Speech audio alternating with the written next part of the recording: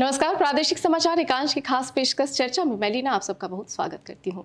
आज़ादी, ये वो शब्द है जिसे सुनते ही हमारे जहन में एक सिहरन से उठती है और कभी कभी सिर फक्र से ऊँचा हो जाता है। ये सिर्फ़ शब्द नहीं है, शब्द के बहुत सारे मायने हैं, हमारे देश का गर्व है, प्रतीक है। ये जो आज़ादी शब्द है जिसे सुनते ही हमारे रोंगटे जो खड़े कर देते हैं, ज़रा आप गौर कीजिएगा कभी कि सिर्फ़ हमारे जो सिर्फ़ शब्द को सुनकर हमारे जब रोंगटे खड़े हो जाते हैं तो आप सोचिएगा कि जिन्होंने आज़ादी के लिए लड़ाई लड़ी जिन्होंने अपनी पूरी जीवन अपने आप को जब इस आज़ादी की लड़ाई में झोंक दिया तो उस समय किस तरह की स्थिति होगी और कैसी स्थिति होगी जब जवान सरहद में आज भी आ, हमारी रक्षा के लिए लड़ रहे होंगे। आज 15 अगस्त के इस मौके पर हम देश की आज़ादी से जुड़ी कुछ खास बातों पर चर्चा करेंगे। जानने की कोशिश करेंगे कि आज़ादी हमारे लिए आज़ादी के किस तरह के मायने हैं। और जो शख्सियत हमारे साथ मौजूद है, उनके बारे में मैं आपको बता दूँ, हमारे साथ जो मौजूद हैं खास मेहमान 2008 बैच के आईएएस अधिकारी हैं आप और लगभग तीन दशकों का आपके पास प्रशासनिक अनुभव है। और अगर बात करें छत्तीसगढ़ में आयुक्त के संभाग आयुक्त के पद पर आप हैं वर्तमान में। बहुत स्वागत है आपका आईएएस महादेव कावरे जी का। चलिए चर्चा की शुरुआत करते हैं और सबसे पहले सर आपसे मेरा सवाल कि 15 अगस्त के मौके पर हम जश्न मनाते हैं। ये जो जश्न हम मनाते हैं लगभग दो दो सौ साल की लंबी लड़ाई के बाद हमें आज़ादी मिली। अब आज़ादी के अगर इतिहास की अगर हम बात करेंगे तो ये पूरा समय कम पड़ जाएगा और दिन भी कम पड़ जाएगा। ऐसे में मैं आपसे जानना चाहूँगी कि छत्तीसगढ़ में जो लोग आज़ादी के लड़ाई में शामिल हुए हैं, उनके बारे में आपसे चर्चा करना चाहेंगे। जी पंद्रह अगस्त के अवसर पर मैं स्वतंत्रता दिवस पर सभी छत्तीसगढ़ वासियों को बहुत बहुत बधाई और शुभकामनाएँ देता हूँ। छत्तीसगढ़ के परिप्रेक्ष्य में हम देखें तो यहाँ जो स्वतंत्रता संग्राम सेनानी हैं उन्होंने आज़ादी की लड़ाई में अपनी कुर्बानियाँ दिया है। यदि हम छत्तीसगढ़ के शहीद वीर नारायण सिंह जी की बात करें तो उन्होंने अठारह सौ छप्पन सत्तावन में जो है ये सोना खान छत्तीसगढ़ के जो बलौदा बाज़ार ज़िले में सो, सोना खान एरिया है उस क्षेत्र में लोगों को संगठित किया और अंग्रेज़ों के साथ में उन्होंने लड़ाई लड़ी। और लोगों के अधिकार के लिए उन्होंने अपनी कुर्बानियाँ दी हैं। हम्म, हम्म। उसी प्रकार से बस्तर यदि छत्तीसगढ़ के बस्तर अंचल की बात करें जी। तो वहाँ शहीद गुंडा ध्रुव के द्वारा हम्म, जो भूमकाल आंदोलन है उसमें अंग्रेज़ों के विरुद्ध जो है लड़ा गया। और इसी प्रकार से अन्य शख्सियत भी हैं जिन्होंने स्वतंत्रता आंदोलन में जो है अपनी आहुतियाँ दी है। और छत्तीसगढ़ जो है ये स्वतंत्रता आंदोलन में हम्म। काफ़ी बढ़ चढ़ कर जो है हम्म। हिस्सा लिया है। हम्म, और यहाँ के जो लोग हैं वो जो समाज है अनुसूचित जनजाति के हों अनुसूचित जाति के लोग हों उन लोगों ने या पिछड़ा वर्ग के लोगों ने हर वर्ग के लोगों ने जो है इस लड़ाई में अपनी कुर्बानियाँ दी हैं। जी। आज़ादी की जब बात होती है तो सर छत्तीसगढ़ की जो योगदान है उन पर हम बात करें तो यहाँ पर कंडेल सत्याग्रह की एक बात होती है जिस पर गांधी जी का भी योगदान रहा है। चाहेंगे कि उस पर भी आप कुछ बात रखें। जी 1920 की बात है जब ये कंडेल सत्याग्रह जो है हम्म, हम्म। छत्तीसगढ़ में ये धमतरी ज़िले का एरिया आता है। हम्म, यहाँ पर महात्मा गांधी जी भी उस सत्याग्रह में शामिल हुए थे। और उसके बाद भी एक बार और उन्नीस सौ तैंतीस में भी जो है हाँ। महात्मा गांधी जी के द्वारा छत्तीसगढ़ का यहाँ पर दौरा किया गया था हाँ। और उस समय जो है भी जो है छत्तीसगढ़ में उन्होंने लोगों को स्वतंत्रता आंदोलन में शामिल होने के लिए आह्वान किया गया और उनके आह्वान पर काफ़ी छत्तीसगढ़ के जो है लोगों ने अपने स्वतंत्रता आंदोलन में अपनी कुर्बानियाँ दी हैं कुर्बानियाँ दी हैं। अगर बात करेंगे छत्तीसगढ़ की ये तो बात होगी इतिहास की इतिहास की अगर बात करेंगे तो समय कम पड़ेगा। वहीं अगर बात करें कि भारत की आज़ादी का के लिए जो दिन चुना गया था 15 अगस्त उन्नीस का वो दिन था आपसे चर्चा में ये जानना चाहेंगे कि आधी रात को भारत की आज़ादी का ऐलान क्यों हुआ था? देखिए ये आज़ादी हमको एकाएक नहीं मिली है। जी। इसके लिए बहुत सारे प्रक्रियाएँ जो है हम्म, हम्म, की गई बहुत से जो है आप सब लोग जानते हैं कि स्वतंत्रता के लिए जो है बहुत सारे आंदोलन हुए। हम्म, है। ना? ये आंदोलन एक साल दो, दो- साल नहीं बल्कि सैकड़ों वर्षों के जो है आंदोलन के पश्चात ये आज़ादी मिली है। और पंद्रह अगस्त का जो जो दिन तय किया गया था जो आधी रात को ये आज़ादी का दिन तय हुआ था ये भी चूँकि ब्रिटिश शासनकाल उस समय चल रहा था और इधर स्वतंत्रता के आंदोलन भी जो है चल रहे थे और ये द्वितीय विश्व युद्ध के बाद जो है हम्म, हम्म, ये निश्चित हो गया था कि अब जो है भारत को स्वतंत्रता मिलेगी हम्म। और उसके जस्ट पहले भारत छोड़ो आंदोलन भी जो है। हुआ था और ये एक बहुत सारी प्रक्रियाओं के पश्चात जो है हम्म, स्वतंत्रता मिली है। हम्म, और इसमें हमारे जितने भी लोगों ने स्वतंत्रता आंदोलन में आहुतियाँ दी हैं हम्म, हम्म, उसके पीछे जो है उन लोगों का उनके बलिदान। बलिदान उनके बलिदान को बेशक याद करते हैं हम। पंद्रह अगस्त उन्नीस को जब देश की आज़ादी का ऐलान हुआ था उस समय में देश को फिर एक संविधान भी मिला था। देखा जाए तो उस समय के जो क्रांतिकारी रहे हैं जिन्होंने संविधान भी बनाया है बाकी सारी चीज़ों को देखते हुए अ, किस तरह के भारत और किस तरह के आज़ाद भारत का उन्होंने सपना देखा था? और अभी क्या स्थिति है? देखिए जहाँ तक संविधान निर्माण की प्रक्रिया भी है आप यदि इतिहास देखेंगे तो संविधान निर्माण भी अचानक जो है ये नहीं हुआ है बल्कि उसके लिए एक प्रक्रिया अपनाई गई संविधान सभा का जो है गठन किया गया। जी। और अ, हम देखते हैं कि संविधान के जो प्रारूप समिति के हम्म। अध्यक्ष थे डॉक्टर बाबा साहेब भीमराव अंबेडकर जी हम्म, हम्म, उनको प्रारूप समिति का अध्यक्ष बनाया गया। उसके पश्चात ही जो है। ये संविधान का प्रारूप तय हुआ। क्योंकि उस समय जो पढ़े लिखे लोगों में बाबा साहेब डॉक्टर भीमराव अंबेडकर जी सबसे ज़्यादा पढ़े लिखे थे और उन्होंने विदेशों में जो है पढ़ाई करके वहाँ के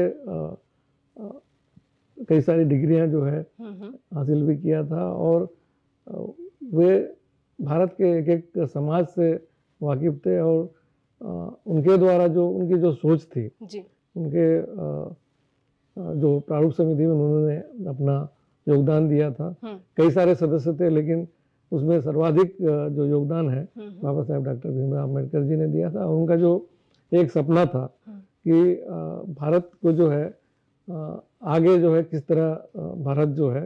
एक आज़ाद हो आज़ाद हो कैसे यहाँ का सिस्टम हो किस। तरह से जो है यहाँ की वर्किंग हो वो सब जो है उनके जो सोच के अनुसार उन्होंने संविधान भारत को जो है दिया है। बाबा साहेब भीमराव अंबेडकर ने जब संविधान का निर्माण किया अ, वैसे तो स्वतंत्रता दिवस पर हम बात करें लेकिन बाबा साहब की आपने बात कही है। तो आपसे मैं जानना चाहूँगी कि अ, किस तरह के आज़ाद भारत का उन्होंने सपना देखा उन्नीस सौ सैंतालीस में उन्होंने जब लोगों के लिए हर वर्ग के लिए सोचा फिर अ, उस समय 1947 की बात थी अब 2024 अब चल रहा है। क्या लगता है कि कितना धरातल पर उतरा ये लोग कितने आज़ाद हैं? देखिए बाबा साहेब डॉक्टर भीमराव अंबेडकर जी ने जो अ, अ, हमारे संविधान निर्माण के लिए जो अ, उसमें बातें जो लिखी हैं जो हम्म। उन्होंने सपना देखा है यदि हम देखें तो बाबा साहेब अंबेडकर ने जो प्रॉब्लम ऑफ़ रूपी जो थीसिस लिखी उस पर हम्म। रिज़र्व बैंक ऑफ़ इंडिया का जो है हम्म हम्म। इसका गठन हुआ 1935 में।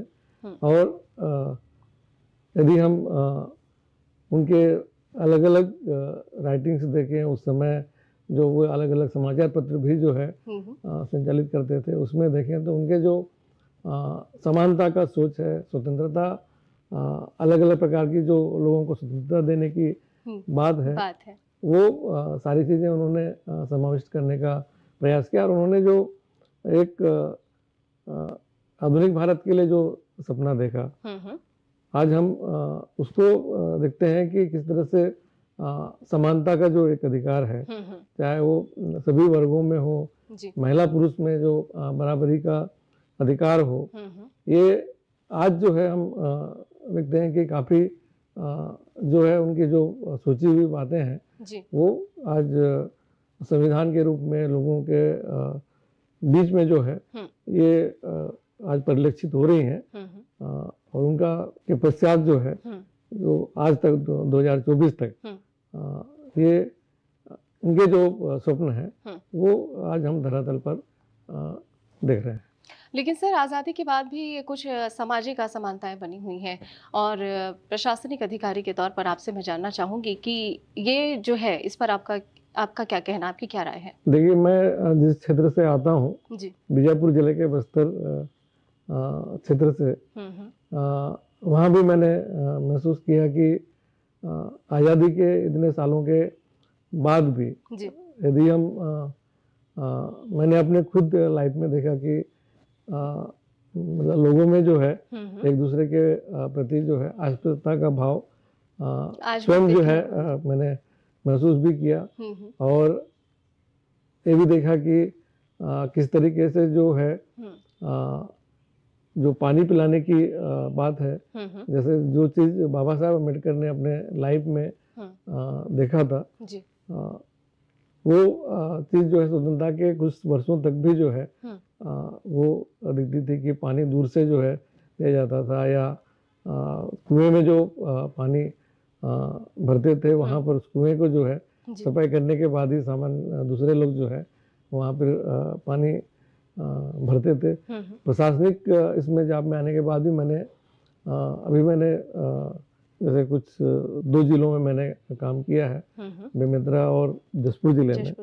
और बेमित्रा की बात करूँ तो वहाँ अनुसूचित जाति बहुल्य जो है काफ़ी क्षेत्र हैं जहाँ। पर अनुसूचित जाति के लोग रहते हैं। हम्म, हम्म, और यदि हम जसपुर की बात करें तो वो अनुसूचित जनजाति बहुल्य क्षेत्र है। हम्म, बेमेतरा ज़िले में मैंने महसूस किया कि अभी भी हमको जो समानता का जो अधिकार है हम्म, हम्म। उस पर अभी भी हमको काम करने की ज़रूरत थी जशपुर ज़िले के आप कलेक्टर रह चुके हैं वहाँ पर अगर देखा जाए आज़ाद भारत में विकास की भी बात होती है तो आदिवासी बाहुल्य क्षेत्र हो जाता है ऐसे में विकास की कितनी ज़रूरत है वहाँ पे और कितना विकास हुआ है देखिए जशपुर ज़िले के कलेक्टर मैंने महसूस किया कि वहाँ पर शिक्षा काफ़ी मतलब बहुत सारे हम्म, ऐसे संस्थाएँ वहाँ पर आई हम्म, मिशनरीज आए। जी। उसके कारण से शिक्षा तो काफ़ी अच्छा पहुँचा है। लेकिन सभी वर्गों में अभी भी जो है समान रूप से शिक्षा का प्रसार नहीं हुआ। अभी भी अ, ऐसे जनजाति समाज हैं। जी। जैसे कि वहाँ पर कोरबा पहाड़ी कोरबा। और बिरहोर। बिरहोर।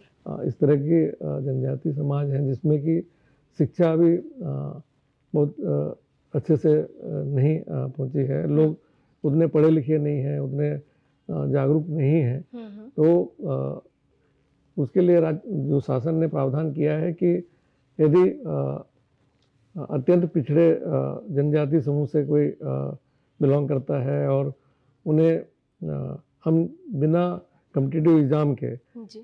किसी जॉब में यदि लगा सकें तो मैंने वहाँ पर मैंने कोशिश किया था कि इन जनजाति समूह से हम्म, अ, हम लोगों ने सौ ऐसे लोगों को शासकीय नौकरी में जो है सीधे सीधे हम्म, नियुक्ति दिया था। हम्म, हम्म, और कोशिश किया था कि उन समूह को भी बाकी बाकी जो जनजाति समूह हैं हम्म, हम्म, उनकी बराबरी में जो है अ, लाने का और इनके लोगों को ऐसे लोगों को बढ़ावा दें बढ़ावा दे। ताकि उन समूह से भी क्योंकि लोग शासकीय सेवा में आने के बाद केवल उनके परिवार का नहीं बल्कि उनके पूरे समाज के बारे में जो है सोचने लगते हैं हम्म, हम्म, और उनका विकास करते हैं। हम्म, तो ये कोशिश किया था। जहाँ तक डेवलपमेंट वर्क की बात है डेवलपमेंट यदि हम बस्तर और सरगुजा क्षेत्र कंपेयर करें।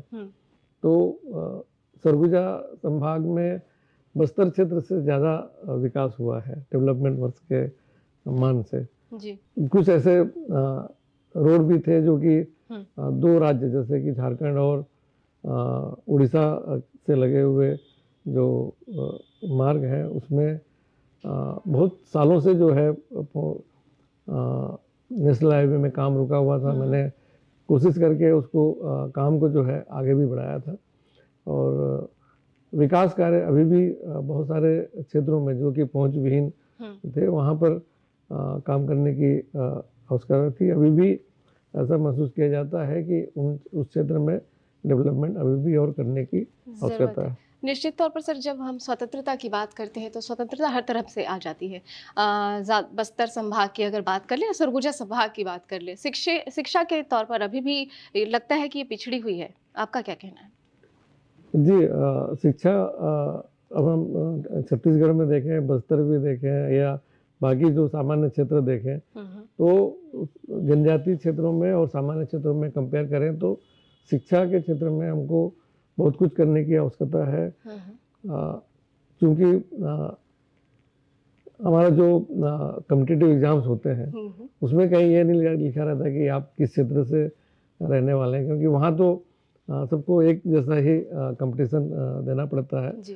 तो शिक्षा के क्षेत्र में तो जनजातीय क्षेत्रों में बहुत काम करना बहुत काम है और इन क्षेत्रों में ज़्यादातर मतलब एक स्टडी हुई थी उस पर पता भी ये चला था कि यहाँ पर बच्चों के लिए स्कूल भी अवेलेबल नहीं है सर अभी वर्तमान सरकार के द्वारा भी जो है काफ़ी प्रयास किए जा रहे हैं इस क्षेत्र में। जैसे प्रयास विद्यालय एक हमारा होता है बहुत सारे आश्रम स्कूल आश्रम हैं हम्म, हम्म, बहुत सारे छात्रावास हैं। हम्म, इन इन स्कूलों आश्रम स्कूल हैं छात्रावास हैं प्रयास विद्यालय हैं।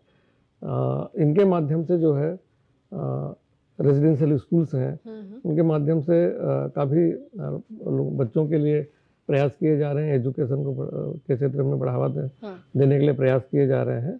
और मुझे लगता है कि जितना भी प्रयास किया जा रहा है ये वर्तमान परिप्रेक्ष्य में देखें हम्म, तो ठीक है। हम्म, हम्म, लेकिन जहाँ तक कम्पिटिटिव एग्ज़ाम की बात है तो हमको इस क्षेत्र में और जो उसके योग्य हैं जो बच्चे हैं उनके लिए अन्य अन्य चूँकि लोगों से कंपटीशन करना होता है।